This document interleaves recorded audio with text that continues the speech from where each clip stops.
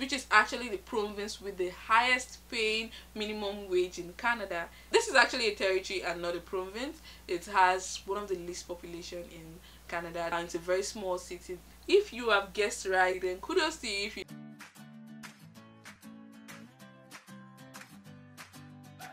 Hey guys, it's your girl WhizQueen back again with another video.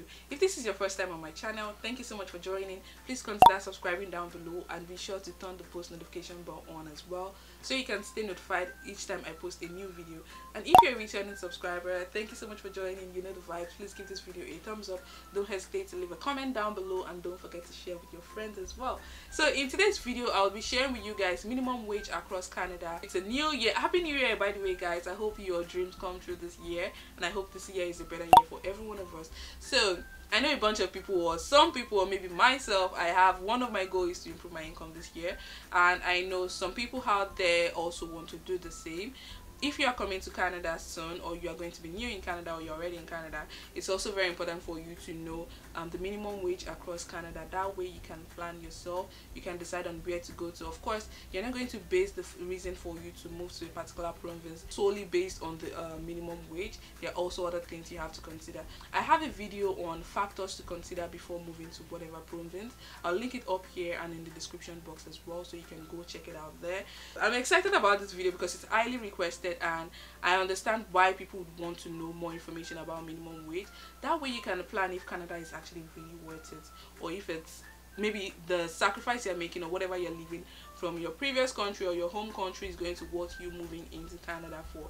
So the objective of this video would be to educate you on minimum wage across Canada secondly to also inform you about the number of hours to earn overtime pay in Canada and also highlight the province with the highest and the lowest minimum wage in Canada. We would also review what are those factors that affect minimum wage and when does the annual review for minimum wage takes place.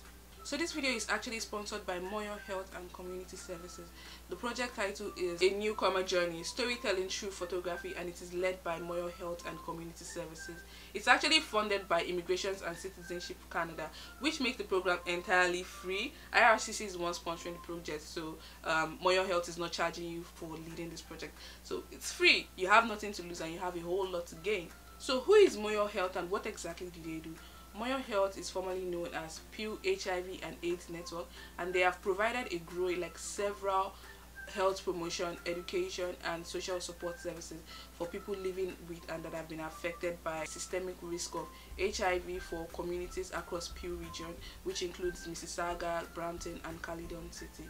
Are you a newcomer in Canada? Then this project is definitely going to be for you. If you are a newcomer as a permanent resident, maybe a living caregiver, or maybe you came in as a refugee or you are one of the protected person, then this project is definitely for you. If you would like to share your migration experience in Canada using photography and storytelling, then you should definitely consider this project. I can totally relate to the experience of a newcomer coming in Canada, the challenges, and the fact that there could be something that would help you share your experience with other people that would be fun and you would also learn from. You can also meet with other people in the course of the project and this way you never know who you are going to meet that is going to impact your life in the long run or in the short run and this is going to be a good way to network with other people connect with people and share your experience as well with new immigrants or future immigrants in canada. More information about this newcomer photo voice project. This project is going to be an eight week long project where participants would meet every saturdays over zoom and they would share their knowledge using photography and their experience as well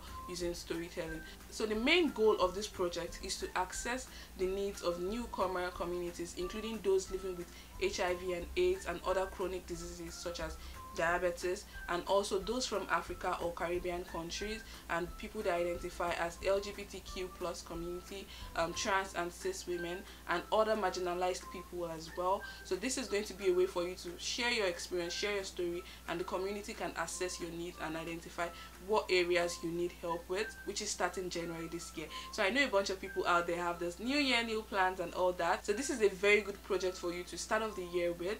I myself would also be participating in this project because I'm still a newcomer and there are a bunch of stories I would also like to share and I would like to learn from other people as well. So what are some of the things you would benefit during this program? You would learn how to use a camera which will be provided to all participants. You'll be able to share your story of settling in Canada through photography. You'll be able to meet new people and make connections as well. You'll be able to learn about the community services that are available in your area and your community. You'll be able to showcase your stories in an exhibition as well which i find very interesting and exciting. And like i mentioned you would have opportunity to meet new people network with people grow yourself access employment education healthcare and other kind of social support that people actually don't know exist. A bunch of these things exist but the knowledge and information probably isn't reaching the right people. So this is going to be a good platform for you to meet people. You also have access to one-on-one -on -one settlement support by the organization as well. So i think this is something very much fun and i totally look forward to it. I also would recommend for you to join and participate in this project so you can enroll in the link in the description box. If you also have questions i would link an email address to Kaminda you can always send her an email. She's super nice. You can reach out to her if you have questions to clarify. Without further ado let's get to this video. So i'll be going over the minimum wage by province and territories. And I'll be starting off with the province with the least minimum wage. And we'll be going up to the province with the highest minimum wage in Canada and territory as well. And overtime pay is usually a time and a half. And it starts from when that province has set to be the standard working hours for a week. So as an example let's say Ontario you need to work for minimum of 44 hours for you to be able to earn overtime. Say for instance you work for 45 hours in a week and that means you earned overtime work for just one hour. So it's the excess of the standard hours that would be counted as overtime for you. Then you'll be earning overtime pay for that one hour. So one hour of your overall 44 hours would be a time and a half. So that would be 1.5 times your current rate or if you are earning the minimum wage then the least any employer should be able to pay you would be the minimum wage multiplied by 1.5 40 hours per week is actually the federal standard for um, for you to be able to earn overtime pay. So you need to work above 40 hours for you to earn overtime pay federally. But each province has their own different rule that would override that of the federal government. There are several factors that affect minimum wage in Canada, one of which could be the industry you work in or your profession. There are some industry that has like lesser minimum wage compared to the general minimum wage. So if you work in the services industry and you earn tips, your minimum wage might be different from others. And also if you are a student below the age of 18, your minimum wage that would apply might also be lesser than the general minimum wage. There's actually a federal bill that requires for each provinces to review their minimum wage each year and the minimum wage rate is usually to be increased the May of each year as well. Annual increase is supposed to be April of each year according to um, cost of living index. So basically they have to consider a bunch of other factors before they can increase minimum wage, one of which is definitely cost of living and if the if the cost of living during that year or during that one year period has increased or has gone up over that period then there's a high chance that um, the minimum wage would also be increased. But this is the general minimum wage that we are reviewing so we are starting off with the first province with the least minimum wage in Canada and we are starting with Saskatchewan. Saskatchewan has minimum wage of $11.45 and this was applied or this took place since October of 2020. So um, there is a chance that the minimum wage might be reviewed later on this year but there is no guarantee. You have to work above 40 hours a week for you to be able to earn overtime pay which is a time and a half. Coming up in number two, the second province is New Brunswick. The minimum wage is actually $11.70 and this was applied April of 2020. So there is also a chance minimum wage might be increased later on this year for New Brunswick and for overtime hours you have to work above 44 hours for you to be able to earn overtime pay which is also a time and half. The third province we have on our list which is number three is Manitoba. Province of Manitoba the minimum wage is $11.90 and this came into effect October of 2020 as well. For you to earn overtime pay in Manitoba you have to work above 40 hours a week. Up next is Newfoundland and Labrador and the minimum wage is $12.15. This came into effect October of 2020 as well. And for you to earn overtime you have to work 40 hours per week and um, maximum of 10 hours per day. So if you work maximum of 10 hours per day or you work 40 hours a week you're going to earn overtime pay for Newfoundland. I would say the minimum wage for Newfoundland is kind of low compared to how much they pay in sales tax, which is 15%. I mean, Nova Scotia's minimum wage is currently at $12.55 and this took effect since April of 2020. There has been a review in the minimum wage which should be increased to $13.10 and this should be applied April 2021 this year. So uh, people staying in Nova Scotia or if you're planning to move to Nova Scotia, um, there's a high chance that you'll be meeting the increase later on this year. Up next we have on number 6 we have Prince Edward Island which is currently at $12.85 and um, there isn't any information on whether or not there will be an increase this year for the minimum wage in Prince Edward Island. The number of hours for you to earn overtime pay in PEI is 48 hours. I think that's actually a lot. It's the same thing with Nova Scotia as well. Up next we have on number 7 as Quebec. Quebec currently earns $13.10 for minimum wage and the minimum hours for you to work for you to be able to qualify for overtime pay is 40 hours a week which is the standard. The minimum wage took effect May 2020 and there is a high chance the minimum wage would also be reviewed this year. Hopefully there is a chance for Quebec residents to be able to um, earn more. Up next we have Northwest Territory which is not a province, it's a territory. They currently sit at $13.46 for their minimum wage. There is a chance the minimum wage might be increased this year. There isn't any guarantee yet because there's no information on that. This minimum wage has taken effect since April of 2018. So I'm hoping there is a chance for people living in the Northwest Territory for them to be able to earn more later this year and overtime starts from 40 hours plus a week for you to be able to earn overtime pay in Northwest Territory as well. Coming up next is number 9. We are going to talk about Yukon. Yukon has 13.71 minimum wage and this took effect since April of 2020. There's a high chance the minimum wage might be reviewed this year. There's no information on how much is going to be increased to yet. Same as for Northwest Territory, the overtime starts from 40 hours plus a week as well for Yukon. Number 10 on our list is Ontario.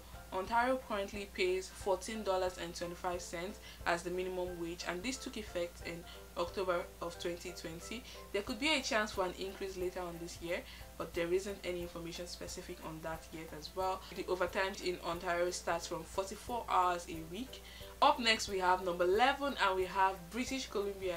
British Columbia currently pays slightly higher than Ontario at $14.60. Up next we have Alberta as number 12 and they are currently paying $15 and this took effect since October of 2018 which is actually a long time. For the longest of time Alberta was paying the highest minimum wage in Canada per hour. And overtime hour also starts from 44 hours per week. Um, hopefully there might be an increase. There isn't any information yet on that but i'm not sure if there will be an increase for minimum wage in alberta for this year. The last on the list which is actually the province with the highest paying minimum wage in canada. If you have guessed right or you know this information already then kudos to you. If you don't know yet i'll be spilling it in the next three seconds. So this is actually a territory and not a province and it's a very small city. Sparse with very few number of people. They currently pay $16 per hour and this was increased from $13 to $16. That was a big jump since 2016 so for over four years they were paying $13 and there was an increase or a big jump in 2020 by $3 so they currently pay $16 and overtime starts from 40 hours a week in Nunavut. Nunavut is not a a territory. Most people don't know that. And it's a very small city, like I mentioned. So there you have it, the minimum wage across Canada. So based on this information, would you or do you have any specific province in mind? Or is there a specific province that you had thought was paying the highest minimum wage in Canada and uh, this video disappointed you? Let me know in the comment section. Um, for me, I would say uh, you would have expected that province of Ontario will be paying the highest minimum wage because of the population and also the cost of living. However, on the contrary, they rank number 10. They also have 44 hours for overtime pay, so you need to work for 44 hours for you to be able to earn overtime in Ontario. But it's still very much reasonable for you to work for 4 hours compared to province like PEI or Nova Scotia that is asking you to work for 48 hours for you to be able to earn overtime pay. Ah, I mean, so that's pretty much it for this video guys. If you enjoy watching it make sure you give it a thumbs up. If you learned something new make sure you give it a thumbs up as well. If this video has surprised you or provided you an information that you had no knowledge about give it a thumbs up as well. And don't forget to subscribe down below. Share this video with your friends as well. And i'll see you guys in my next video. In the meantime stay confident. Bye